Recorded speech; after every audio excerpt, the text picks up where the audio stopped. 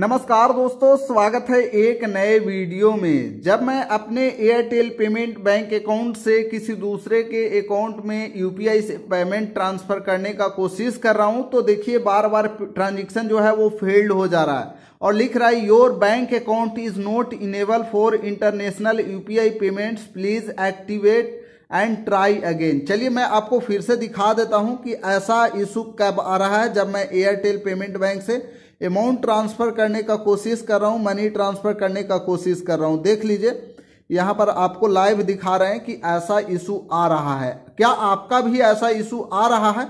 Comment में बताइएगा, बार बार payment failed हो जा रहा है तो कमेंट में बताइएगा। और ये प्रॉब्लम को अभी फिक्स करने वाले हैं, अभी सोल्व करने वाले हैं। तो आप देखते रहिए इस वीडियो को, और वीडियो पसंद आता है तो वीडियो को लाइक शेयर एंड चैनल को ज़रूर सब्सक्राइब कीजिए। इस तरह का इशू आ रहा है तो आपको बैंक अकाउंट कस्टमर केयर को कॉल नहीं करना है गाइज़ आपको डाउनलोड करना है एयरटेल पेमेंट बैंक का official application Airtel thanks app देख लीजिए ओपन कर लिए हैं. ओपन करने के बाद आपको इस प्रकार का इंटरफेस दिखाई देगा। सबसे ऊपर में आपका लोगो दिखाई देगा लोगो पर क्लिक कर लीजिए. उसके बाद देखिए, इस प्रकार का इंटरफेस दिखाई देगा। आपको सेटिंग का ऑप्शन दिखाई दे रहा होगा सेटिंग पर आप क्लिक कर लीजिए।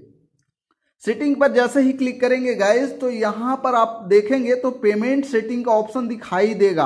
पेमेंट सेटिंग पर आप क्लिक कर लीजिए। पेमेंट सेटिंग पर जैसे ही क्लिक करते हैं गाइज़ तो यहाँ पर देख लीजिए Airtel payment bank Paytm wallet Amazon wallet saved cards तो सबसे ऊपर में एयरटेल पेमेंट बैंक है, इस पर आपको क्लिक करना है। एयरटेल पेमेंट बैंक पे जैसे ही क्लिक करेंगे तो यहाँ पर भी आपको पाँच ऑप्शन देखने को मिलता है। ऊपर से देखेंगे तो safe pay change M PIN forget M PIN add money Bhim UPI देख सकते हैं यहाँ पर भीम यूपीआई डिसेबल हो रखा है। तो अब हमें इसे इनेबल करना होगा गाइस तो चलिए यहाँ पर इनेबल करते हैं। इनेबल करते हैं तो इनेबल करने के लिए आपको एम पिन फिल करना होगा।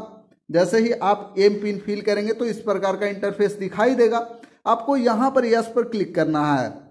यस पे जैसे ही क्लिक करेंगे गाइस तो देख सकते हैं यूपीआई सर्विस इनेबल्ड सक्सेसफुली यानी कि अब मेरे एयरटेल पेमेंट बैंक का यूपीआई सर्विस इनेबल हो चुका है। अब मैं फिर से अमाउंट ट्रांसफ़र करने का कोशिश करता हूँ। क्या मनी ट्रांसफ़र कर पाते हैं एयरटेल पेमेंट बैंक से या नहीं, वो आप देख लीजिए।